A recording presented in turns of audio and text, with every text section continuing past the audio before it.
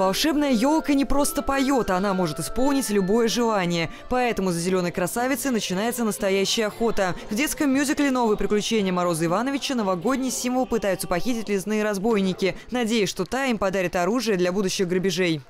Вы сегодня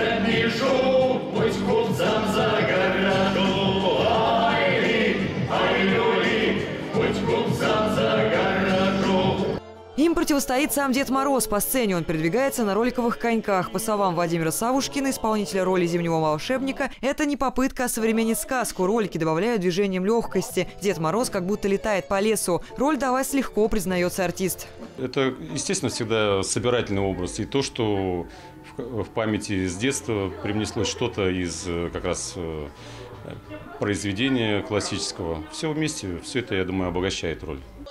На сцене ансамбль «Русь». Артистка хора Веста Романычева играет Дуняшу, избалованную дочь мачехи. Героиня надеется выйти замуж, но никто ее не берет, слишком вредная и ленивая. Мне эта роль очень нравится. Вживаться в эту роль было вообще несложно. Вот. То есть, когда я маме сказала о том, что я играю такого персонажа, вредного, какого-то такого задиристого, она мне сказала о том, что то есть даже особо вживаться в роль не надо. Кстати, ролики не единственный транспорт в мюзикле. Добрый и трудолюбивая Любаша получает от Деда Мороза гироскутер. Увидят зрители сказочный скайп. Персонажи между собой общаются с помощью елочного шара. Играют на руку новые технические возможности филармонии. Проектор помогает создать атмосферу, буквально оживляет декорации. Но главное – спектакль по сценарию Владимира Медушевского – очередной рассказ о победе добра над злом. Другая цель, которую, допустим, ставят режиссеры, допустим, мы, ну, во-первых, мы пропагандируем, это как бы музыкальный спектакль идет.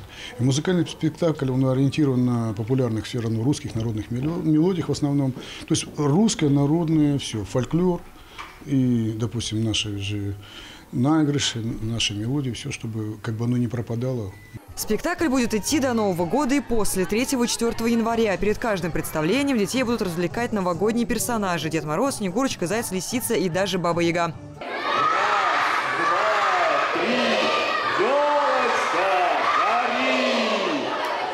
Екатерина Зинурова, губерния 33.